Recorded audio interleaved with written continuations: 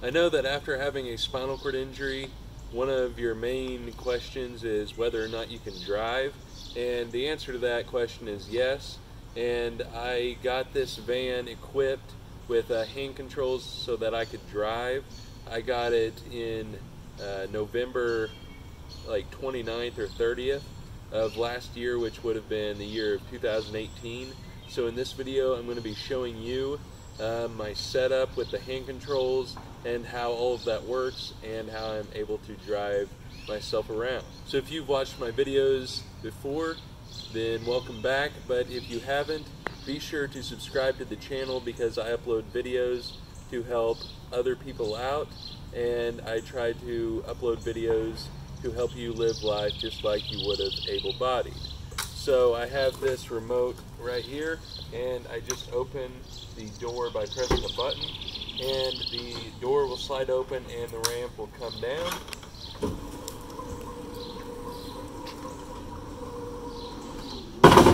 Now you can see that this is uh, quite uh, steep to actually get up and that's because I have the kneel off and this van does have a kneel to where whenever the ramp comes out it will kneel down so that ramp is not so steep if you're in like a manual wheelchair or something.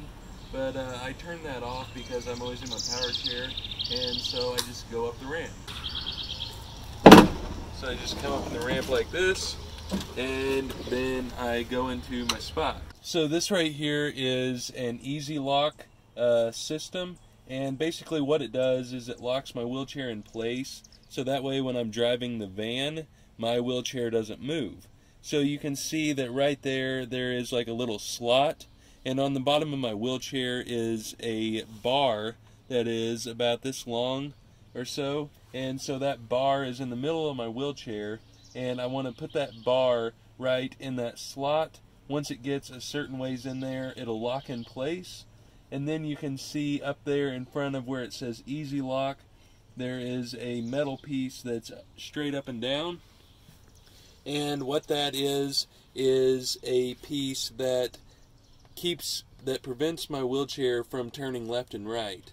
So if you look right here um, I don't know if you can see it but there is a metal piece in front of this. Yeah you can see it right there. So what that does is it's a uh, like a triangle part and the middle of that triangle will fit in the top of that metal piece right up there where it says EZ Lock. In order to actually get in place I will tilt my wheelchair back a little bit and drive up there and this seat belt right here is the one that goes across my chest and uh, it's nice because I basically don't have to put it on. It's just stationary. But one thing they did change on my wheelchair, other than that bar on the bottom, is my seat belt. And they had to put a different seatbelt on my wheelchair for, uh, since I would be using this seatbelt for whenever I was driving.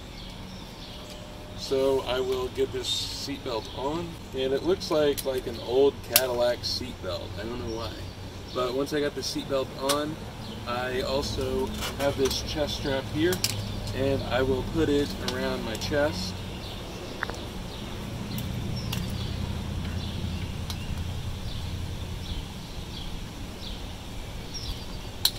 Then I will pull the strap tight and then I will go up here. I align that metal piece with the center of my wheelchair, so right between my two foot plates, and I will go straight forward.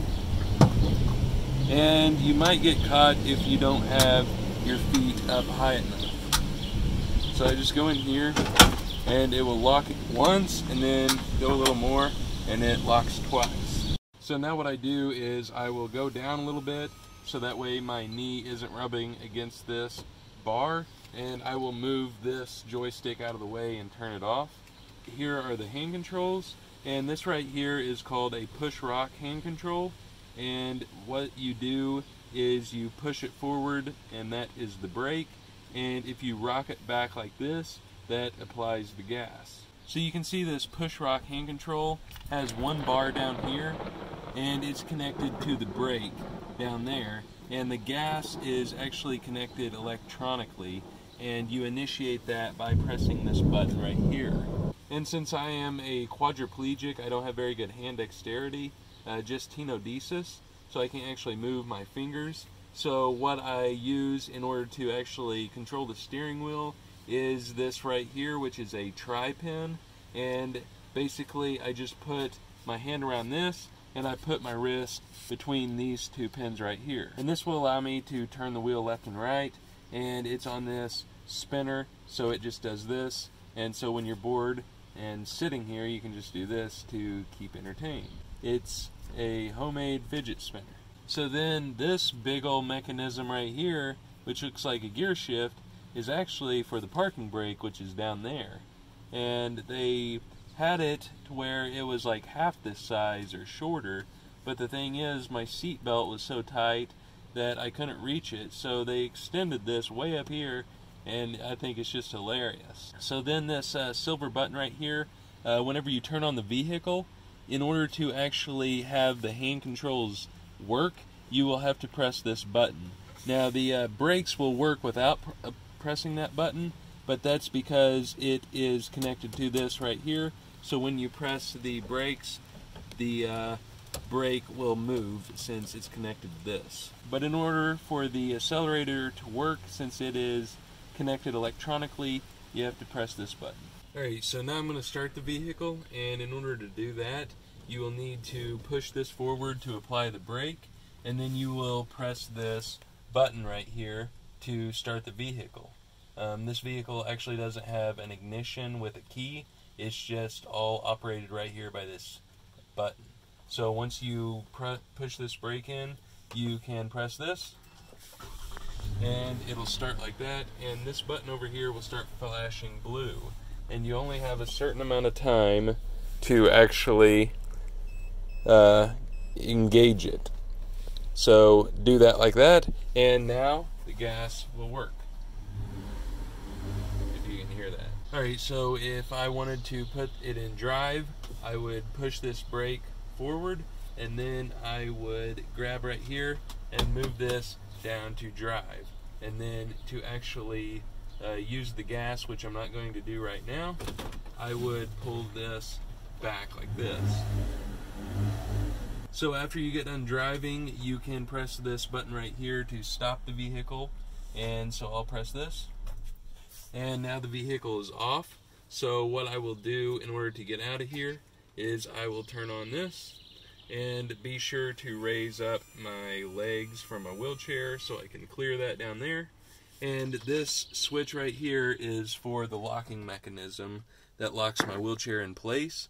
So this is an EZ Lock switch and right here it says release. So if I press this um, it will let me go. But if I don't press it and I try backing up um, it is locked in place. So if I press this, you will hear a noise. And now you have a certain amount of time to actually back up. So like I said, this uh, seatbelt is stationary, so even when I back up, it'll just stay right here. There are multiple buttons in this van as well as on this key to actually deploy the ramp and open the doors, but I'm just going to press this on my key to open the ramp.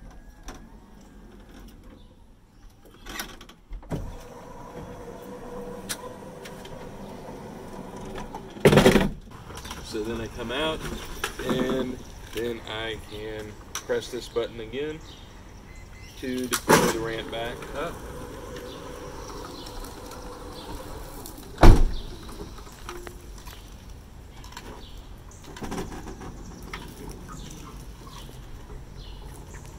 So that is the hand controls and my setup in my van on how I drive myself around and let me know down in the comments below how you uh, drive yourself around, what kind of hand controls you have, and uh, if you haven't subscribed to the channel yet, be sure to do so, so that way you can be notified every time I upload a video.